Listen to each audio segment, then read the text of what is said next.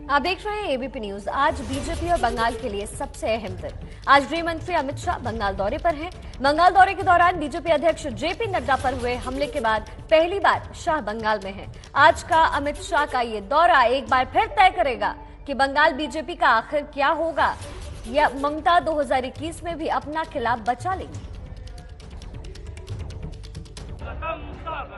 अमित शाह जी स्वागतम अमित शाह स्वागतम। स्वागतम स्वागतम। भारत माता की जय श्री राम हमारा सोनार बांग्ला कहाँ गुम हो गया? देश भर में फैले हुए बंगाली आज सोनार बांग्ला को ढूंढ रहे हैं।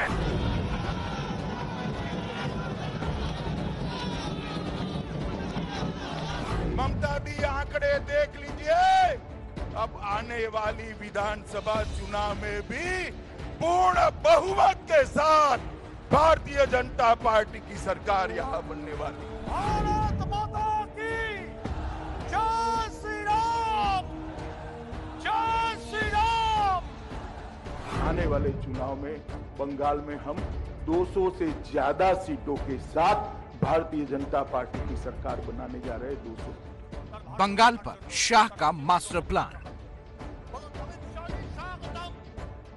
शाह आज खींचेंगे बंगाल फतेह की लकीर। आज मिशन बंगाल पर हैं बीजेपी के चाणक्य।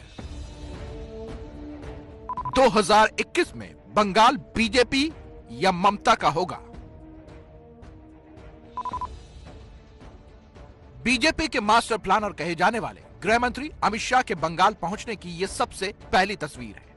कोलकाता एयरपोर्ट पर अपने समर्थकों के बीच पहुँचते ही अमित शाह ने हाथ उठाकर जीत का सिग्नल दे दिया है। और यहीं से अमित शाह का मिशन बंगाल शुरू हो गया है। ऐसे अमित शाह अपने पहले बंगाल दौरे में 200 प्लस सीट जीतने का दावा कर चुके हैं। ये जो यात्रा चली है, ये यात्रा रुकने वाली नहीं है। ये यात्रा जो 18 सीटों तक पहुँची है, विधानसभा में दो तिहाई बहुमत के साथ भारतीय जनता पार्टी की सरकार बनाकर समाप्त ममता का किला भेदने के लिए कोलकाता पहुँचे अमित शाह आज बंगाल फतेह का खाका तैयार करेंगे। बंगाल के प्रभारी मंत्रियों के साथ शाह की आज अहम बैठक है। लेकिन उससे भी यह अहम है, अमित शाह का बंगाल में उन जगहों का दौरा जो बंगाल की अस्मिता और संस्कृति से जुड़ा है।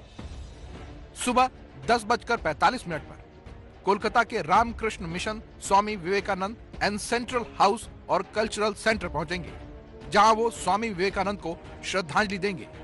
यहाँ करीब आधे घंटे तक रुकेंगे। सुबह ग्यारह बजकर पैतालीस मिनट पर कोलकाता एयरपोर्ट से मिदनापुर हेलीपैड जाएँगे।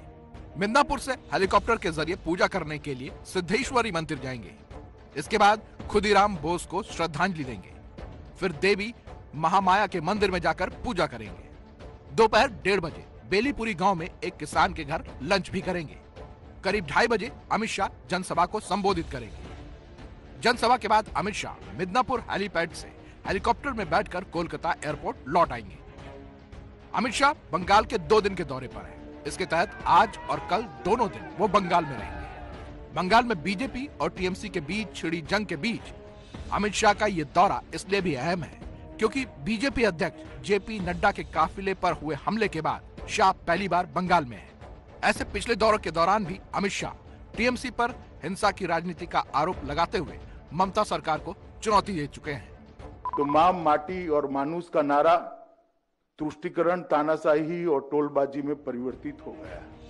अपने बंगाल दौरे के दौरान शाह न सिर्फ़ कई सांस्कृतिक और राजनीतिक कार्यक्रम में हिस्सा लेंगे बल्कि बंगाल के सात प्रभारी मंत्रियों के साथ रणनीतिक बैठक भी करेंगे। बंगाल में बीजेपी को जीत दिलाने के लिए बीजेपी ने सात प्रभारी मंत्री नियुक्त किए हैं। इन प्रभारियों में गजेंद्र सिंह शेखावत, अर्जुन मुंडा, संजीव बालियान, मनसुख मांडविया के अलावा उत्तर प्रदेश के डिप्टी सीएम केशव प्रसाद मौर्य और मध्य प्रदेश के गृह मंत्री नरोत्तम मिश्रा शामिल हैं।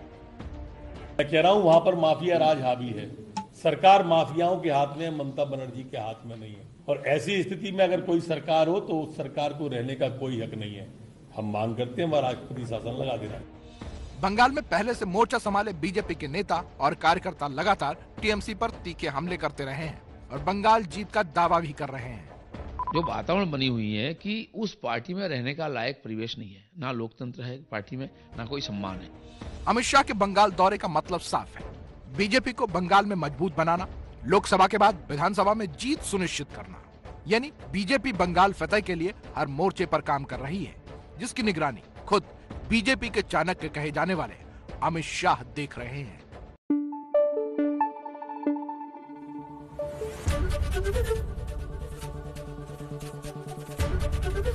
एबीपी न्यूज़ आपको रखे आगे।